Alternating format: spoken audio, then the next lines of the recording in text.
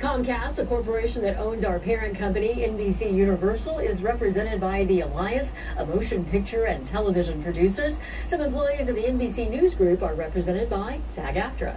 Taking you outside right now, this is a live look from San Pedro.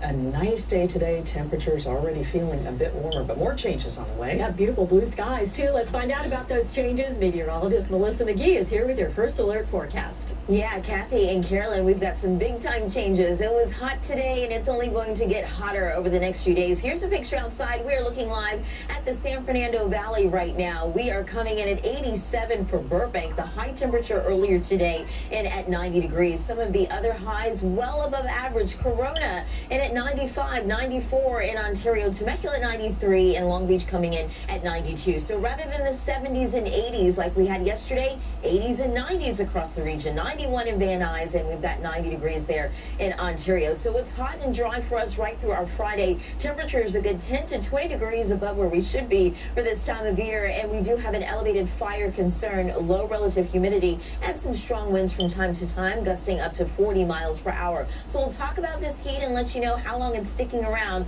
all coming up with your first alert forecast. I'll send it back over your way. Melissa, thank you. Coming up next at 6, new buildings to house homeless.